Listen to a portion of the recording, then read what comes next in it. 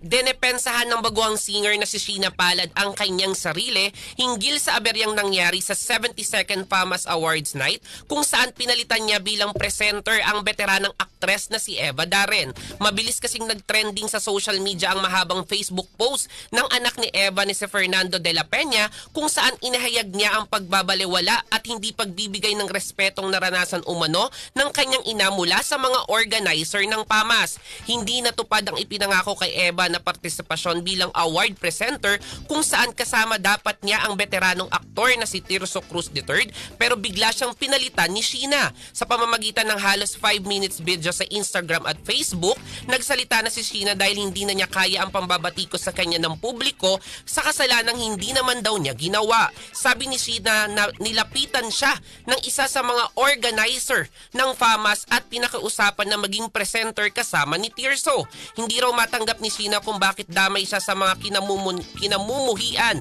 ng mga netizens gayon wala rin daw siyang alam at sumunod lamang siya sa utos ng isang staff sa PAMAS. Sa huli nakiusap si Sheena na tigul, uh, tigilan na ang pababatikos sa kanya at ang pagsasalita niya ay maliwanag na para sa kanila. Samantala, matapos naman maglabas ng official statement ang FAMAS, tinanggap na ng pamilya ng veteranang aktres ang paumanhin ng FAMAS. Hiling ng anak, anak ni Eva na si Fernando na hindi na maulit ang nangyari. At yan ang entertainment news na nag-iisang Diyosa sa balat ng radyo. Ako si Josa yan, Tatak RMN.